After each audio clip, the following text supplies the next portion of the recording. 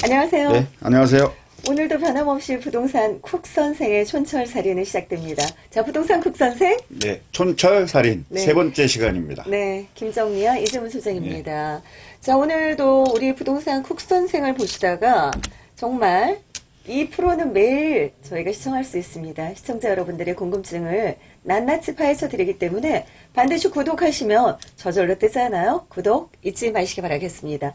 부동산 쿡 선생을 눌러주시고 구독 눌러주시거나 좋아요 눌러주시기 부탁드리겠습니다. 자, 오늘은 어떤 걸 준비하셨나요, 이재문 소장님? 네, 오, 오늘은 이제 그 2019년 자체는 이제 서울에 주택 공급량이 상당히 많거든요. 네. 그중에 이제 강남 4구 쪽에 한15,000 가구 이상이 네네. 아, 공급되는데 사실 헬리오 시티 같은 경우도 어, 2018년 12월에 공급이 됐다라고 하지만 사실 뭐 올 3월 말까지 다 입주를 해야 되는 상황이기 때문에요. 음. 네네. 그것까지 이제 감안한다 그러면 2만 5천 가구 정도가 이제 올해 공급이 되기 때문에 네네. 이제 그 가격 하락에 어떤 전조가 있지 않을까 해서 이제 거래 절벽에 아. 이은 2019 가격 하락 전조들이라고 일단 타이틀을. 잡았습니다. 그리고 거래, 거래 절벽인 2019 가격 하락 전조들과 또 하나 아까처럼 헬리오시티 입주대란 그 입주대란 파장은 파장. 어디까지 있을까? 오늘 정말 우리 시청자분들 중요한 뉴스 많이 들을 것 같습니다. 어떻게 보면 1년간의 어떤 부동산의 판가름이라 볼 수 있을 것 같습니다. 이런 부분들에 대해서 일단 첫 번째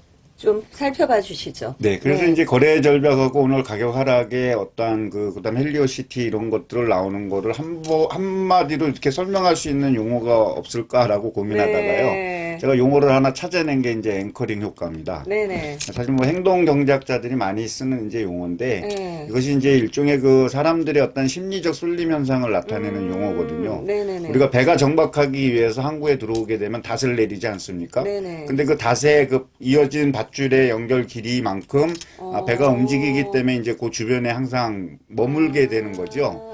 아, 결국에 뭐냐면 이제 부동산이 최근에 2018년, 2017년 이렇게 부동산 경기가 되게 좋았던 네. 어떤 상황에 사람들이 각인이 돼 있기 때문에 네. 아, 그런 것들이 이제 기준점이 돼 있는 거죠. 음, 그러니까 이제 과거에 부동산 가격이 떨어진 거는 생각하지 않고 네네. 최근에 급등했던 마음들만 가지고 있고 부동산 가격이 음. 더 올랐으면 좋겠다라는 어떠한 심리를 가지고 있는 네네. 그런 것 때문에 이제 시장이 왜곡이 되거나 이제 편파적인 현상이 생기는 네네. 어떠한 일종의 이제 견인 효과라고 볼 수 있는데요. 얼마 전에 네. 아그 아크로 아크로파크 가 1억까지 이제 가서 계약이 됐다라고 했을 때 네. 사실은 리버 아, 아크로 리버파크가 계약에서 거래가 됐던 것보다도 주변 아파트 가격이 가짜 더 뉴스라고 안? 했어요? 가짜 뉴스죠. 네네. 근데 이제 그렇게 네. 해서 한방 딱 때려 놓으니까 네. 많은 사람들이 추격 매수를 다른 아파트에 하면서 동반 상승을 일으키는 그렇죠. 어떤 네. 그런 효과들을 이제 나타나게 아, 되는데 이제 지금은 네. 반대적인 이제 상황이 좀 되지 않을까 이렇게 음. 생각을 합니다. 아까 모두에 말씀드렸지만 네네. 공급량 자체가 많아지고 있기 때문에 이것이 네. 어떤 시장이 침체되는 어떤 심리적 요인에 작동이 음. 된다 그랬을 때는 아, 가격 하락의 어떤 속도가 좀 빨라질 수 있지 않을까 이렇게 음. 생각을 하고 있습니다. 네. 그래서 거래 절벽에 이은 그 가격, 가격 하락 전제들을 네. 한 마디로 말하면 앵커링 앵커링 효과, 효과 가 이제 작동을 하는 한 해가 될 거다. 또, 네. 네. 한자어로는 뭐라 표현할 수 있을까? 그래서 지금 가격 하락 전조들이 나타난 부분들이 이제 뭐 한마디로 말하면 앵커링 효과지만 구체적으로 지역적이나 뭐 이런 걸로 말씀 하시신다면 어떤 게 네, 있을까요? 그러니까 서울 같은 경우 이제 네. 2019년 예정 물량만 보더라도 한 4만 2천 가구 정도가 되기 때문에 예년보다 네.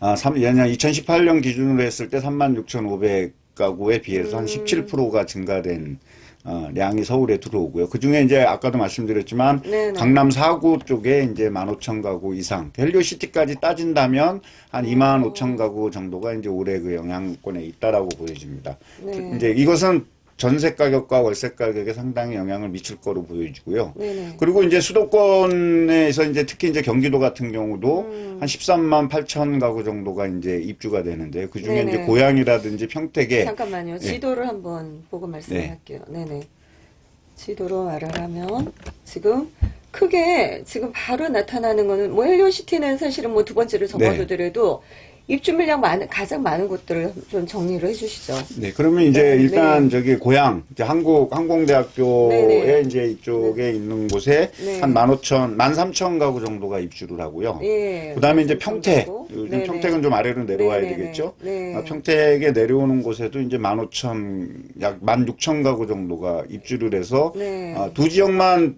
대비해서 본다 하더라도 예년에 비해서 두 배 가까이가 증가를 음. 네. 하거든요. 네. 아, 그러면 경기 북부 쪽에 네. 한13,000 가구, 그 다음에 네. 경기 남부 쪽에 네. 한15,000 가구 정도가 이제 들어오면서 그 시장에 어떤 가격에 상당한 음. 그 영향을 미칠 거로 이제 보여지고요. 네네. 이제 서울 같은 경우는 아까도 말씀드렸지만은 강남사 강, 강남 4구에 네, 한 네. 15,000 가구 이상이 들어오면서 또 헬리오시티까지 합쳤을 때한 어. 25,000 가구가 들어오기 때문에 네네. 틀림없이 전세 가격과 매매 가격을 음. 하락시키는 어떠한 견인차가 될 거라고 지금 보고 있습니다. 또 어디 고독 쪽에도 많이 들어오시나요? 네, 고독 쪽에도 올해 많이 들어오고요. 그리고 또 어느 쪽이죠? 고독에 많이 의사. 특히 이제 고독에 많이 들어오고 강남에도 강남구에도 조금 들어오고요. 네네네. 네. 강남구에도 좀 들어오고, 송파구에도 네. 들어오고, 네, 그 다음 평택 쪽도 들어오고, 그리고 그다음에 뭐. 고양에도 들어오고 그다음 네. 그리고 이제 뭐더 크게 지방으로 얘기한다 그러면 부산 같은 경우도 네. 한 2만 5천 가구가 하남 쪽은 없나요? 하남 쪽은 이미 이제 저기 위례 미사로 해서 음. 이제 얼추 이제 입주가 되는 상황이기 때문에 네. 뭐 공급량 자체가 크게 증가한다든지 그거는 아닌데 네. 결국에 이제 송파하고 강동 쪽에서 들어오는 주택 양이 커지기 때문에 음. 그것이 이제 하남 시장에 영향을 상당히 미칠 거라고 그럼 보고 올해 있습니다. 입주 물량이 어느 정도 나돼요? 어, 올해 이제 서울 같은 서울 전체로 놓고 본다면 한 4만 아까도 말씀드렸지만 네. 4만 가구가 어, 넘는 상황에서 강동구 그러니까 네. 강남 4구에 한 15,000 네. 가구가 입주가 됩니다. 네, 강남 4구. 4구에 예, 15,000 가구. 15,000 예. 가구 정도. 근데 이제 헬리오시티가 뭐 12월에 입주를 시작했지만은 결국에 네네. 1월서부터 3월 말까지 음. 입주를 다 해야 되는 상황이기 때문에 이제 네. 그 상황 때문에 헬리오시티 자체가 이제 전세 가격도 하락하고 매매 가격도 현재까지 이제 하락하는 추세로 나타나고 아, 있거든요. 그래요? 보통 입주 물량 때쯤 되면 아파트들은 가격을 상승하기 마련이거든요. 네. 물론 전세 가격은 한 번에 이제 입주하는 물량 때문에 가격이 낮아지지만 매매가는 상승하는데 헬리오시티 같은 경우는 지금 하락에 네. 한다고 볼 수 있는 거예요. 그 고양이나 하다못해 송파가 그렇다라면은 지금 굉장히 싸게 저렴하게 분양이 됐잖아요. 네. 그럼에도 불구하고 지금 가격이 기존보다 떨어졌던 얘기예요. 그렇죠. 그러니까 이제 뭐냐면? 래미안 루치하임이 네. 어, 이제 850세대밖에 안 되는데 11월에 입주했잖아요. 네네. 그리고 헬리오 시티가 이제 9,510 세대로서 네. 어, 12월에 입주를 했는데 네. 결국에 아직 헬- 저기 루치하임 같은 경우도 전세 소진이라든지 매매 가격 어. 반등이 지금 안 된 상황에서 하락 추세에 네. 있고요. 헬리오시티 자체는 지금 뭐 많이 알고 있지만 2억 이상이 지금 매매가에서 아. 빠지고 전세 가격도 그 이게 2억 언제 가까이 기준이에요? 빠졌다라고. 애 당초 분양한 것보다 빠진 게 아니잖아요. 오른 가격에서 빠진 오른 거잖아요. 가격에서 빠진 거죠. 네. 네. 그럼 크게 그렇다 해서 손해 보는 거는 아직은 아니네요. 그렇습니다. 아직은 그렇, 네. 그런데 이제 문제는 네. 뭐냐면 이제 3월 말까지 입주를 해야 되기 때문에 3월 음. 말까지 입주한다라고 했을 때에는 잔금이 아. 남아 있잖아요. 네. 잔금이 남아 있는데 투기 지역과 아. 조정 대상 지역과 투기 과열 지구로 네. 인해서 대출 규제가 꼭꼭 묶여 있다라면 네네. 전세가 나가지 않는다 그러면 대출금 30% 정도의 잔금 납, 납부가 늦어지거나 음. 그거로 인해서 계약이 해지되는 사, 사례가 있을 수 있기 때문에 아, 대출 때문에 예, 전세. 가격을 낮추더라도 낮추더라도 빨리 전세를 아. 맞춰야만이 네네. 잔금을 지급할 수 있지 않겠습니까? 그렇죠. 그런 어. 분들은 상당히 지금 이제 위기 의식을 느낀다라고 음, 봐야죠. 그래 그걸로 그렇구나. 그리고 또- 이제 그뭐 고향 이런 데는 그럼 더 타격이 크겠네요. 지금. 그렇죠. 어. 내년 올해 어. 이제 2018년에 비해서 두 배 가까운 주택이 네네. 들어오니까 아무리 네. GTX 호재가 있다 하더라도 일단 수요를 받, 음. 받치기에는 이제 네. 한계가 있는 공급량이라는 겁니다. 아. 그래서 이런 것들이 2019년에 가장 많이 몰려 있기 때문에 음. 2019년에 이제 우리가 제가 타이틀을 입주대란으로 이제 잡은 어, 거죠. 2019년 입주대란 네. 거의 뭐 그렇게 될 확률이 되게 높다고 보여지는 부분이 있는데 여기서 이제 제가 정말 걱정되는 부분들은 아직은 전조란 말이에요. 네. 근데 이미 가격은 빠지고 있어요. 근데 이런 영향들이 언제까지 지속되고 정말 지금 뭐 국토회의나 이런 데 많이 들어가 있지만 나라에서는 이런 거에 대한 어떤 대응책 같은 건 마련하지 않을까요? 뭐 현재로는 뭐 논의는 하고 있겠지만 공론화 네. 시키기에는 아직 좀 시기상조라는 판단이고요. 네네네. 아, 이제 그렇게 돼서 이런 전조들이 오게 되면 음. 이제 시장은 이제 얼어붙게 되겠죠. 그러니까 네. 이제 그렇다면 이제 미친 부동산이 됐지만 한때는 음. 이제 또 공포의 부동산이 될 수도 있지 않습니까? 네네. 이제 그 미친과 공포감의 어떤 그 이론을 설명하기 위해서 이제 anchoring 효과를 이제 가지고 온 건데요. 네네. 결국에 이제 다음 페이지를 이제 보시면 네네. 음, 이제 레, 래미안 루치하임도 이제 이렇게 입주했고 헬리오시티도 음. 입주를 해- 했지만 결국에 뭐냐면 전세 가격이 네네. 지난 10월이니까 2018년 10월이지 않습니까? 예, 예. 그 참- 평균 전세 가격이 7억 2천 정도였었는데 네. 12월에는 6억 6억대로 떨어졌고 지금은 많이 5억대까지 떨어졌구나. 지금 물론 거래량이 한 얼마 안 되기 때문에 이것이 네네. 추세라고 볼 수는 없지만 어쨌든 5억 원대까지 음. 논의가 나왔다라는 자체는 전세 가격이 지속적으로 하락이 되고 있고요. 네네. 또 매매 가격도 지금 14억대로 주저앉았기 때문에 매매 가격도 한 음. 2억 정도가 빠졌다라고 보는 겁니다. 예, 매매 가격대. 거기에다가 이제 문제는 뭐냐면 이런 음. 것들이 최근에 이제 세법이 개정되면서 1주택자라 하더라도 장기 보유 특별 공제를 받기 위해서는 2년간 실거주 요건을 채워야 되지 않습니까? 네네. 그렇다면 이제 헬리오 시티에 어, 실거주자들이 입주가 더 많기 때문에 전세 물량이 줄어들 거다라고 예상이 일부가 됐었는데 네. 그럼에도 불구하고 전세 가격하고 매매 가격이 하락한다라는 거는 네. 아, 시장이 조금 이제 심리적으로 좀 얼어붙고 음. 그 얼어붙는 것이 좀 더 이제 현실화되지 않을까라고 지금 이제 판단하고 있는 거죠. 크게 보면은 지금 가격 하락 전조는 지금 입주민 물량이 아직도 많이 남아있다라는 거. 서울 쪽에서만이 아니라 지- 전국적으로 사망 가구인가요, 지금? 서울은. 아, 서울만. 강- 서울만 사망 서울만 가구. 사망 가구예요. 어, 근데 강남 사고가 1만 5천 예. 가구 정도 되고. 그러니까 전국 30%가 넘는 물량이 네. 2019년에만 강남 사고에 폭탄으로 떨어지는 겁니다. 아, 그래서 입주 물량 많은 거하고 입주 물량 가다 아직도 전조 중에 하나가 입주 물량 가다. 또 하나는 또 뭐라고 볼 수 있을까요? 그리고는 이제 뭐 대출 규제라든지 부동산 정부 정책의 네. 강세가 지금 지속되고 있죠. 규제 강화가 음, 음. 지속되고 있고 현재까지는 그 대출 규제를 비롯해서 정부 정, 정부 규제가 서울 지역에서 특히 이제 수도권에서 풀릴 거라고는 당분간 좀 보여지지 않고 있기 때문에 음, 네네. 아, 그 자체로 이제 심리적인 요인도 얼어붙지만은 네네. 또 이제 집을 구해야 되는 사람들 입장에서도 네네. 뭐 자기 자본이 없는 상황에서는 음. 집을 사겠다라든지 이런 것들이 좀 수요가 좀 줄어들 수밖에 없고 네네. 앞으로 주택 가격이 하락될 거라는 음. 기대 심리들 때문에 조금 기다려 보자라는 어, 음. 어떤 수요들이 지금 관망하는 수요들이 앞으로 점점 증가한다 그러면 거래량은 점점 줄어들 수밖에 없는 상황이라고 이제 지금은 정말 관망보다는 많은 사람들이 위축이 되어 있다는 생각이 네. 좀 들더라고요. 그래서 정말 옛날에 그 노무현 정권 때도 부동산 잡힐까? 잡을수록 더 올라왔는데 네. 이랬는데 지금은 뭐 빼도 박도 못하게 너무나도 여러 가지로 지금 어떻게 보면 세법도 굉장히 강화되는 그런 부분들도 작용을 하는 것 같아요. 네. 그렇죠. 그리고 더군다나 1주택자에 대한 양도세도 너무 강화하기 때문에 네. 뭐 1주택을 지키, 고자 옛날에는 뭐 세대 분리도 시키고 음. 나이 먹으면 반드시 뭐 내보내는 상황도 벌어졌는데 그거조차도 못하게 하니까 이러다가 왜 쥐- 이렇게 쥐도 뭐 고양이도 구석에 몰리면 아 쥐도 고양 뭐 네. 구석에 몰리면 고양이 고양이를 문다가듯이 본다 그러죠. 네. 그런 식으로 되지 않을까 싶은 이제 민심으로. 나오겠죠. 이제 음. 민심으로 나오는데 아. 뭐 민심으로 나오면 이제 그게 뭐 선거에 영향을 미칠 거라는 음. 거는 뭐 이제 뭐 내년에 누구나 총선 다. 예, 알수 이제 국회의원. 선거서부터 네. 그렇죠. 예. 네. 그 이제 영향을 미칠 수가 있겠지만은 뭐 아직까지는 어, 많은 사람들이 네. 아, 주택 가격이 안정되고 좀 더 주택이 싸졌으면 하는 바람들이 있기 때문에 네. 어떤 심리적으로나 어떤 그 여론의 어떤 추세가 네. 지금 뒤바뀌는 어떤 상황이 아, 저는 좀 아니라고 보거든요. 다음 페이지에 보시면 네.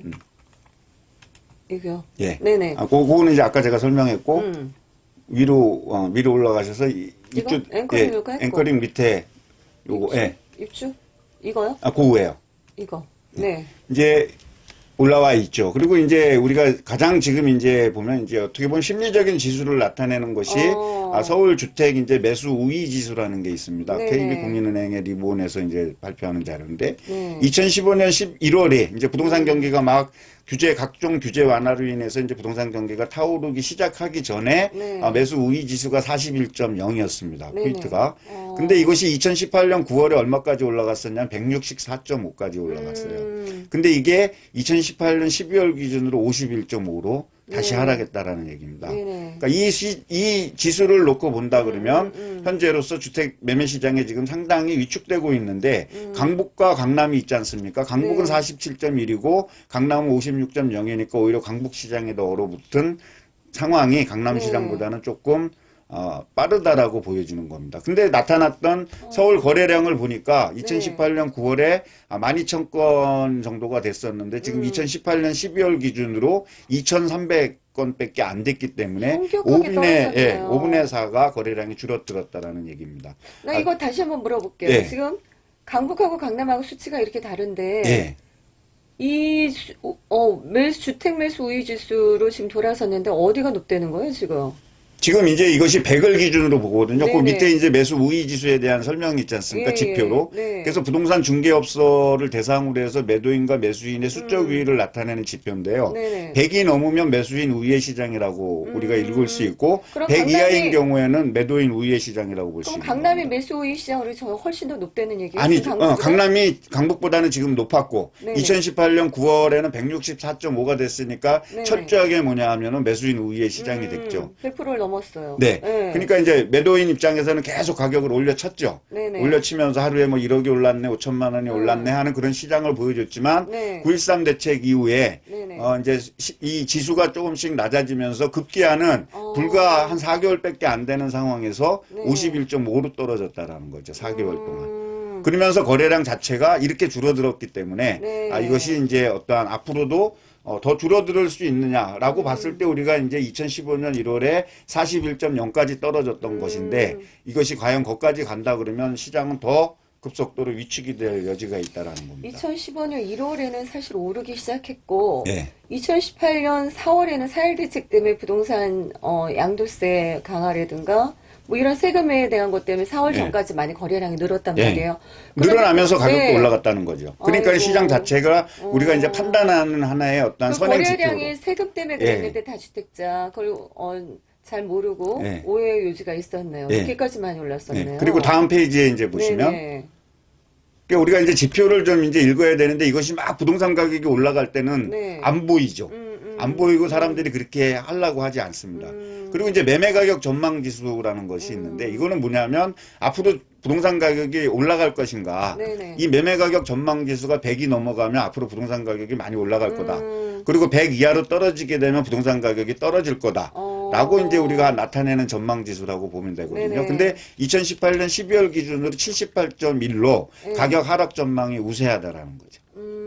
음. 그리고 실제로 가격이 지금 하락했습니다. 네네. 어쨌든 뭐 우리가 얘기하는 거품을 걷어내든 뭐를 걷어내든 어, 뭐 1억 5천 떨어진 데도 있고 2억 떨어진 데도 있고 5천만 원 떨어진 데도 있는 이 아파트들의 가격이 이제 떨어지면서 네. 이런 전망 지수가 이제 앞으로 네네. 뭐 2월에도 나올 것이고 3월에도 나올 것이고 계속 발표가 내는데 이 전망 어. 지수가 예를 들어서 78.1보다 더 아이고. 떨어지게 된다 그러면 네. 앞으로 부동산 시장 가격은 더 떨어진다라고 봐야죠. 네네. 근데 78.1에서 예를 들어서 100으로 갔다. 음. 그러면 이제 부동산 가격이 다시 올라갈 수 있는 여지가 있기 때문에 음. 제가 말씀드린 이 지수들을 보면서 앞으로 시장이 어떻게 움직여질 거라는 거를 우리가 이제는 판단해야 되는 음. 그러면서 관망하면서 투자 포인트나 투자 시기를 찾을 수 있는 시기가 이제 2019년에는 만들어진다라고 볼 수 있습니다. 이제 그런데 네. 이제 또 중요한 거는 이제 이런 매매 지수나 매도인 우위의 시장이냐 매수인 우위의 시장이냐라는 걸 우리가 읽은 다음에 그 다음에 또 부동산 시장을 놓고 보는 게 전세 가격 비율이거든요. 네네. 그러니까 이제 2017년 12월 기준 매매 가격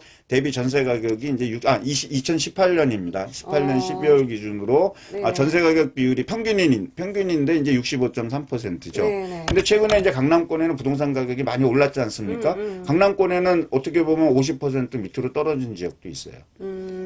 왜- 뭐냐면 매매 가격으로 이제 급등을 했는데 그 매매 네네. 가격이 이제 2억에서 3억이 빠졌다 그러면 어떻게 되겠습니까? 다시 전세 지수는 올라가기 때문에 그거는 그렇죠. 지역에 따라서 예. 온도차에 따라서 좀 내가 분석을 네. 해야 되는 아, 그런 것이 필요하지만 이것이 2015년 11월 이후에 3년 만에 최저 수준을 보이고 있다라는 겁니다. 반대적으로 해석하게 네. 되면 갭 투자자들이 부동산을 투자하기가 어려워졌다는 거죠. 어렵죠. 지금은. 예. 그러면 갭 투자들이 부동산 음. 투자를 하기가 어려워졌 다라면 앞으로 시장은 실수요자 중심으로만 움직일 수밖에 없거든요. 실수요자도 만만치 그러면 않아요. 실수요자로만 네. 움직여지는 시장에서는 네. 가격 상승이 기대하기 어려운데 네. 여기에 공급 폭탄이 가해지는 2019년에는 네. 어떻게 되냐면 이 부동산 시장을 아, 자, 어떻게 움직여야 되는 어떤 이런 것들이 점점 위축될 수밖에 네. 없는 그런 상황을 이제 우리가 보여주는 게 이제 전세가율이라고 이제 봐야 되겠죠. 네, 진짜 지금 시장 전망을 뭐 이제 너무 어려운 표현들을 많이 하다 보면 우리 시청자분들이 콕 집어서 또 어떤 예. 결론을 내기를 되게 좋아하거든요. 근데 기존에는 오를 가능성, 요것만 해결되면, 이것만 해결되면, 저것만 해결되면 오를 거라는 어떤 기미들이 보였거든요. 진조, 전조가 보였는데, 지금은 이것만 정리가 되면이라는 그런 어떤 희망사항이 좀 없어요. 그래서 부동산 시장을 점, 한마디로 말한다면은 굉장히 어떻게 보십니까? 그러니까 이제 미친 부동산에서 공포의 네. 부동산이 될 거냐, 안정적인 네. 시장으로 바뀔 거냐의 이제 문제가 음. 2019년 내내 아마 거론되지 않을까 이렇게 생각을 합니다. 네. 이제 우리가 많은 사람들이 얘기하지만 부동산 경기가 폭등기. 네. 우리가 이제 어 노무현 정부 때도 겪었지만 이번 2017년, 2018년을 지나면서 충분히 겪었잖아요. 네. 뭐냐면 정부 정책은 계속 발표가 나는데 그거를 비웃듯이 부동산 가격은 계속 상승하는 거예요. 예, 예, 그러면 그렇죠. 그렇게 상승할 때는 항상 나오는 얘기가 뭐냐면 공급 부족이다. 네 네. 그리고 공급 부족이기 때문에 집을 더 많이 지어야 된다, 더 많이 지어야 된다, 더 많이 지어야 된다라고 음. 얘기하지만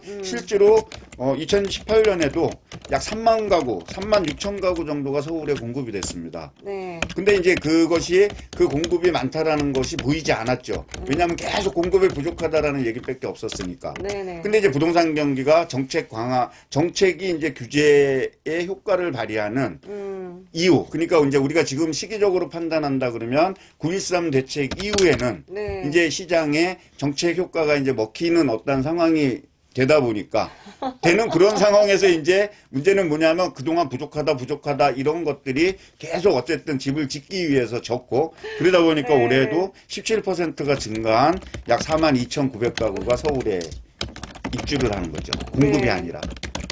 실질적으로 시장에 공급 효과를 발휘하는 거는 음. 짓겠다라는 착공 계획이 아니라 결국에 입주거든요. 네. 근데 그 입주가 2018년, 2019년, 2020년까지 연이어서 음. 공급량이 늘어나고 있기 때문에 음. 지금은 시장의 어떤 흐름, 그다음 이 정책의 효과가 어떻게 연착륙되고 있거나 음. 또는 경착륙되는지에 대한 효과를 보기 전에는 쉽게 움직여서는 안 된다라는 음. 거예요. 그렇다면 이제 실수요자들은 시장을 보기 위해서는 뭐냐 하면 이제 청약 시장으로 가기 때문에 음. 2019년에도 여전히 청약 시장은 뭐 경쟁률을 어 상당히 어. 초월하는 어떤 그런 시장으로 서울도 만들어지는데 그것이 네. 본격적인 주택 가격 상승하고 연결이 되는지 안 되는지는 상당히 어. 이제 미지수가 있는 거죠. 청약 통장을 활용할 수밖에 없네요. 네. 그러면은. 실수요자들은 네. 실수요자 중심. 예.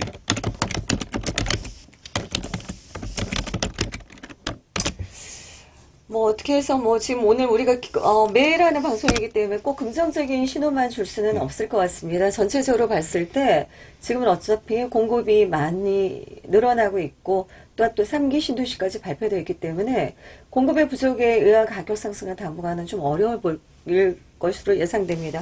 더군다나 고- 서울이나 서울에만 4만 가구가 입주를 한다고 하니까 전세를 통한 또 갭 투자도 어려워 보일 것입니다. 그래서 이 부분은 대출 규제 강화를 좀 완화시켜주면 약간은 그래도 해결될 것 같긴 한데 당분간은 그런 징조는 보이지 이제 않죠. 그렇죠. 대출 네. 규제를 완화하기 위해서는 이제 조정 대상 지역이나 아니면 네. 투기 지역이나 저기 투기 관리 지역, 투기 이 지역의 자체에서 이제 해제가 된다든지 이런 기미가 보여야 되는데 네. 아직까지 서울은 이제 그런 기미 자체는 없죠.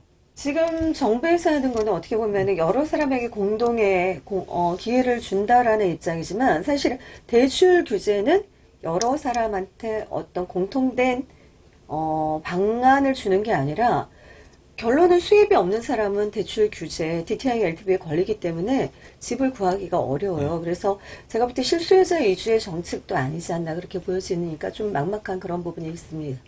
오늘도 우리 촌철살인 부동산 국선생의 촌철살인은 진행되었습니다. 헬리오시티 걱정입니다. 이 헬리오시티가 걱정이 아니라 입주 대란이 걱정입니다. 당분간은 숨죽여야 될 때가 아닌가라는 생각이 되어집니다. 이 부분이 있어서와 또 내가 사는 아파트가 앞으로 향후에 어떻게 될 것인지 몇 가구를 갖고 있는데 어떻게 하면 좋을지 이런 부분들도 어, 댓글에 옮겨주시면 저희가 어, 그 부분도 해결해 드리도록 하겠습니다.